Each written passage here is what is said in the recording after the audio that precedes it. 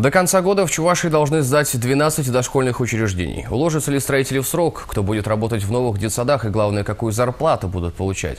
Об этом говорили на еженедельном совещании у главы Чувашии.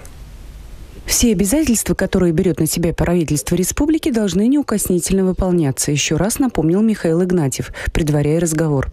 На этот раз речь шла о строительстве детских садов и о выполнении майского указа президента страны, касающегося уровня заработной платы по отрасли образования. Из запланированных на этот год 15 дошкольных учреждений введены в эксплуатацию три. На остальных ведутся работы, есть ряд проблемных объектов, но до конца года все детские сады будут сданы. Вопрос об уровне заработной платы педагогических педагогических работников сложнее. Как сообщил министр образования, Чувашии с 2012 года шел постепенный планомерный рост оплаты труда воспитателей и учителей. В 2013 году средняя заработная плата за четвертый квартал достигла, соответственно, 20 тысяч и 23 с половиной тысяч рублей. План на первый квартал 2014 года был составлен с учетом необходимости недопущения резкого падения заработной платы педагогов в начале года, а также с учетом прогноза средней заработной платы по республике в целом на 2014 год, который по состоянию на начало года равнялся 22 тысячам рублей. Таким образом, средняя заработная плата педагогов детских садов за первый квартал 2014 года составила 19,5 тысяч рублей, а педагогов школ 21,5 тысячи рублей. Впоследствии целевые значения заработной платы корректировались с учетом меняющегося уровня средней заработной платы по Чувашии. С октября он установлен в размере 21 тысячи 250 рублей. Конечно, это вот уравнение с тремя переменными. Зарплата воспитателей зависит от зарплаты общего образования. Зарплата общего образования зависит от зарплаты педагогического состава, а зарплата педагогического состава зарплата зависит от средней по экономике. Тут три уравнения, вернее, уравнение с тремя неизвестными, параметры каждый раз приходится вот это соотносить. Это не оправдание, это просто попытка сказать, что резкий рост сегодня замедляется, идет увеличение зарплаты идет, но она идет не такими большими темпами, как 12-13 годы.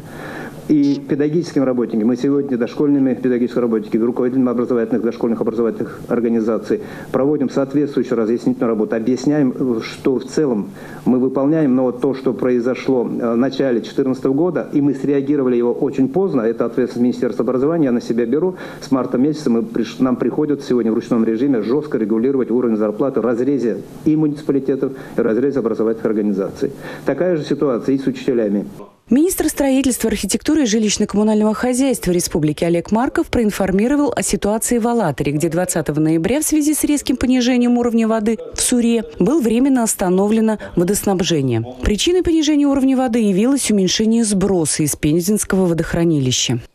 Изучив ситуацию на место, было принято техническое решение по проведению углубительных работ и была привлечена специализированная техника. Организована работа была в круглосуточном аварийном режиме по прорубке желоба, бетонной полки ковша. Это вход водозаборный, э, значит, на станцию, который был необходим для пропуска воды при понижении в реке Сура. На сегодняшний день уровень воды в ковше выше критического и составляет э, почти 60 сантиметров. Водоснабжение города Алатырь осуществляется в штатном режиме. Ограничения подачи водоснабжения нет. Также руководитель Минстроя сообщил о том, что на сегодняшний день без теплоснабжения остался один дом в Цивильске из-за перевода на индивидуальное отопление. Подключить его к теплу обещают уже завтра, 25 ноября. Елена Гальперина, Сергей Рябчиков, Республика.